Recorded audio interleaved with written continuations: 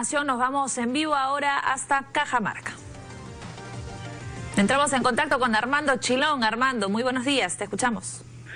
Catherine, muy buenos días. Les saludamos desde la ciudad de Cajamarca y les damos a, a conocer que un grupo de internos del penal de Guacariz eh, internos, tanto varones eh, como mujeres, eh, significaron la vía crucis de Jesús en el interior del centro penitenciario Guacariz en Cajamarca.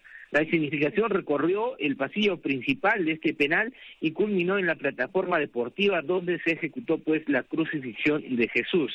Muchos de los internos señalaron que este es un momento propicio pues para tomar conciencia. Hay que indicar que esta significación, la vía crucis, fue organizada por la pastoral carcelaria que en este caso Sonia Serna, encargada de la organización, precisó que se busca en los internos generar este tema de conciencia y de acercamiento hacia eh, Dios.